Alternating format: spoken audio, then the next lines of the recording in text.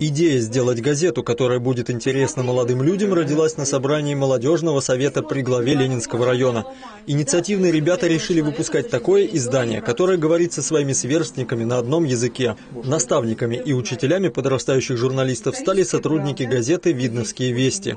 Так как я являюсь членом молодежного совета, и часто пребываю на мероприятиях на различных, которые проводятся Э, мне поступило предложение о том, чтобы стать э, участником команды, которая будет создавать молодежный разворот э, в газете «Видновские вести». И мне стало интересно, поэтому решил попробовать свои силы в этом.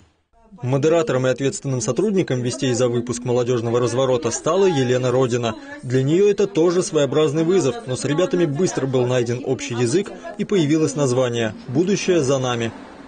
Название придумали вместе с ребятами, потому что они э, считают, и я думаю, что они в этом правы, что на самом деле будущее России за ними. И они считают себя ответственными за это.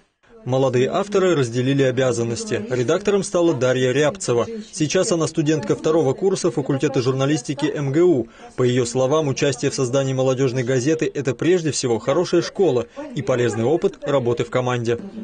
Прежде всего, все вместе на планерках мы выбираем тему для разворота, и в соответствии с этой темой я пишу передовую статью, которая считается, ну, как запевка к номеру.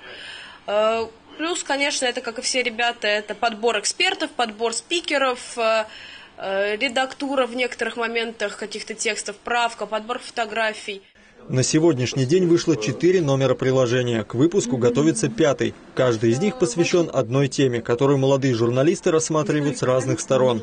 Главная тема нового номера – образование. Один из актуальных вопросов, на который постараются ответить ребята – из чего состоит багаж знаний современного человека. В газете будут как экспертные мнения, так и мысли самих авторов. А это самое главное, ведь уже в юном возрасте ребятам есть, что сказать своим читателям. Дмитрий Книга, Евгений Петров, Анастасия Нурхонова. Видное ТВ.